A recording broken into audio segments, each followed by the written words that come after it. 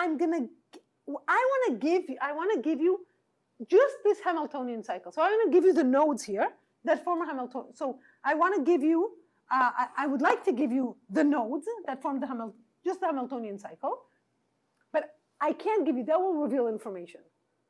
Okay, so I don't wanna do that. Instead, I'm gonna give it to you kind of in a safe, okay, hidden. This is what called in cryptography we call this commitment scheme. So I'm gonna give you a commitment of the cycle C.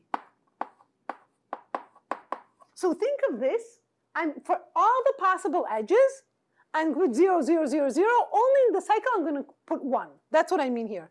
This, So this is like, think of it, it's a matrix uh, of uh, n by n. Uh, sorry, a, yeah, n by n. For any possible edge, for any possible nodes i and j, I'm going to put 0, like there's no edge. Only if it's in the cycle, I'm going to put an edge there. Yeah? So the cycle is on the label of the commuted, like the uh, permuted graph. Exactly, on the permuted graph. Okay,